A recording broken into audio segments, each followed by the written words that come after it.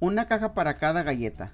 En la panadería El Buen Pan elaboraron galletas de formas diferentes. Para las galletas cuadradas tienen esta caja. Mira, este tipo de caja tienen para las galletas cuadradas.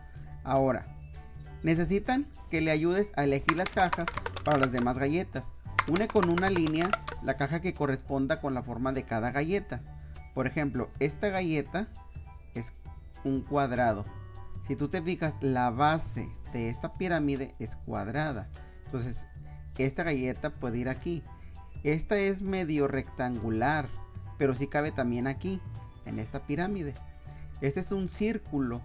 Este es un círculo. Entonces, esta caja es para esta galleta. Esta caja rectangular es para esta galleta rectangular. Y esta galleta puede ir aquí o puede ir aquí, en este cono. Si te fijas, el cono tiene forma también de círculo. ¿Hay cajas para todos los tipos de galletas? Sí, sí hay para todos tipos de galletas. Ahora, en tu cuaderno indica al panadero cómo elegir la caja para cada tipo de galletas. Bueno, le puedes decir, amigo panadero, para encontrar la caja adecuada para cada galleta, revise la base de cada caja. Mira, esto es lo que él debe de revisar, debe de revisar la base. Por ejemplo, aquí vas a decir, pero es que no hay galletas en forma de pirámide. No, pero mira, esta es la base. Entonces lo que debe de revisar el panadero es la base. Igual con este cono. Mira que hay un círculo. Entonces las galletas probablemente van a caber hasta aquí.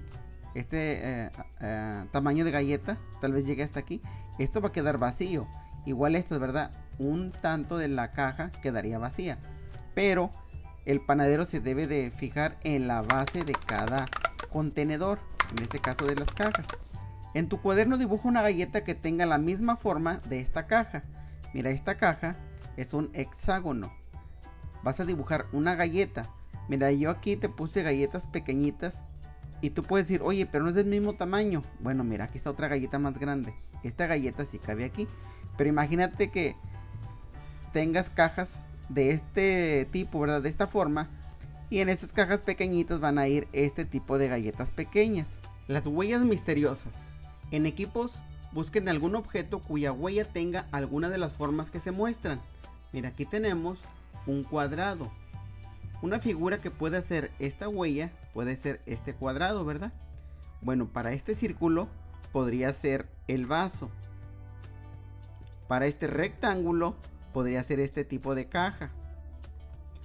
Para esta figura que es un triángulo, podría ser esta pirámide. Yo te puse estos dibujos, pero tú elige los tuyos, ¿verdad? Cada uno va a buscar una figura o un objeto que más le agrade y lo va a poner aquí. Después lo va a unir con una línea para que sepan cuál es la huella que deja cada figura que ustedes pongan. La parte del objeto que deja la huella se llama cara. ¿Cómo identifican si una cara es un cuadrado? Pues es muy fácil, revisando que los cuatro lados midan lo mismo. Recuerda que un cuadrado son cuatro líneas que miden exactamente lo mismo. Así como estas, mira, este es un cuadrado. Las cuatro líneas o los cuatro lados miden lo mismo. Donativo afirma que la caja roja y azul dejan una huella en forma de cuadrado. Georgina no está de acuerdo. ¿Tú qué opinas? Responde en tu cuaderno.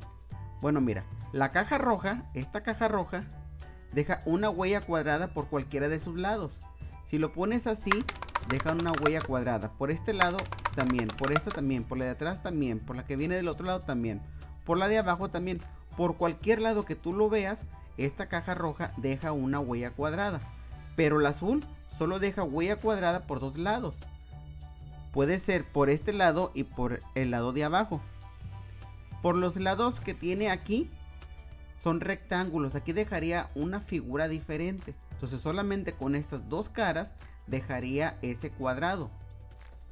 Nuestro parque. Formen equipos y busquen cajas, envases, pinturas y pinceles en el rincón de las matemáticas. Construyen una maqueta de un parque con varias zonas.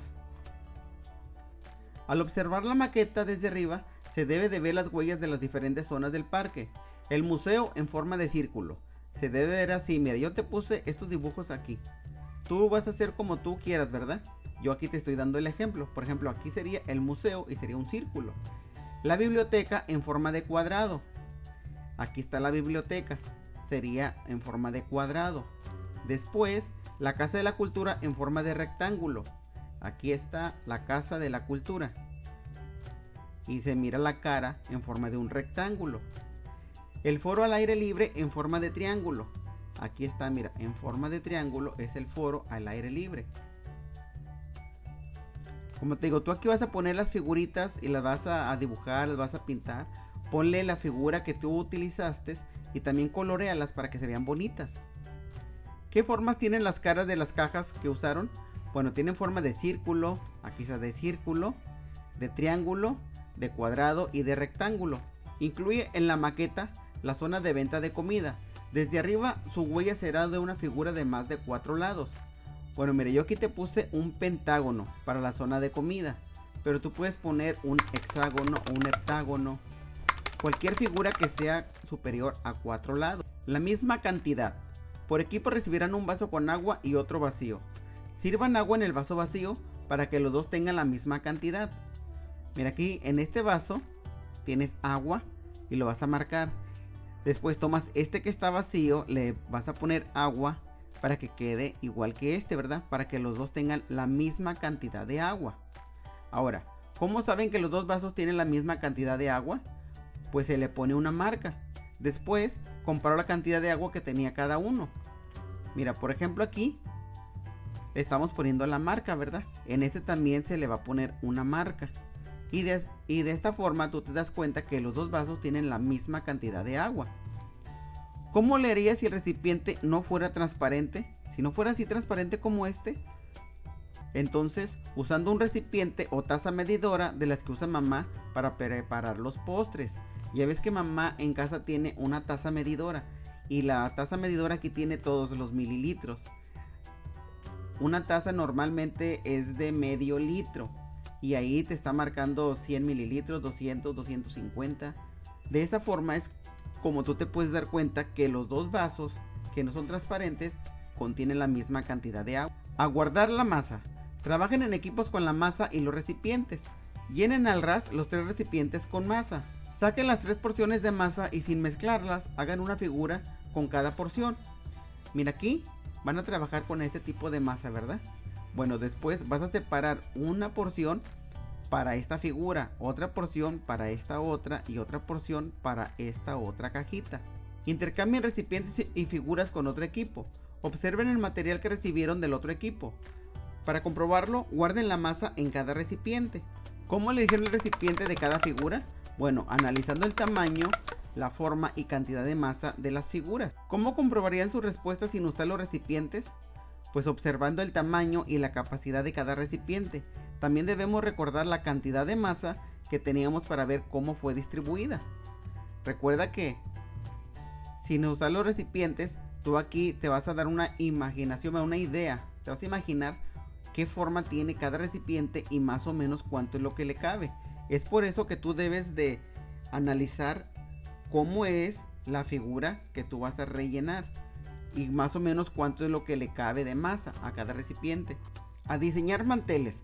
Imagina que en tu grupo forman una cooperativa que se dedica a la elaboración de manteles. Así como estos, mira, todos esos son manteles de los que hicieron en la escuela. En parejas, elaboren dos tipos de manteles, uno grande en una hoja tamaño carta y uno pequeño en media hoja. Sigan las indicaciones. Mira, para el mantel grande, que es la de la hoja completa, va a ser figuras grandes y pequeñas de tres lados. Podrían ser triángulos, por ejemplo, para este, tipo de figuras, ¿verdad? También puede ser figuras con lados rectos.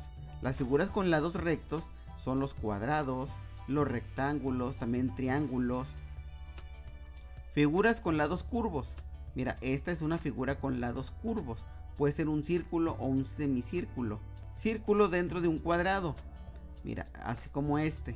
El círculo está dentro del cuadrado o el cuadrado contiene el círculo. Ahora, los manteles pequeños, los que son de media hoja, vas a poner figuras grandes y pequeñas de cuatro lados, así como el rombo o como el romboide. Todas las figuras tendrán lados rectos, así como este cuadrado y este pentágono. Cuadrado dentro de un triángulo. Mira, vas a hacer este triángulo y dentro del triángulo vas a hacer un cuadrado. Ahora, ¿qué figuras usaron para manteles grandes y cuáles para los pequeños?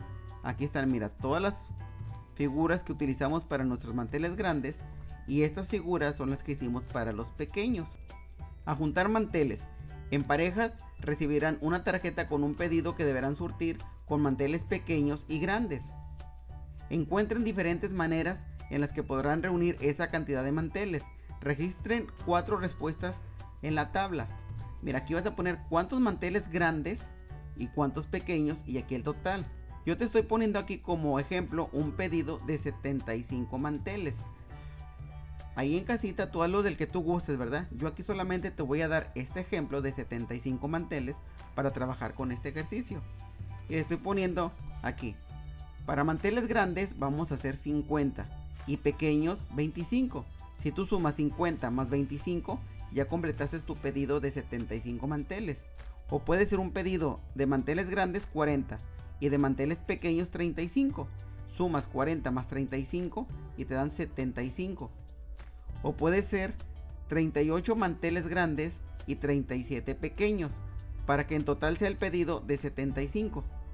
O puedes poner un pedido de 26 grandes y 49 pequeños, para que en total sean 75 manteles.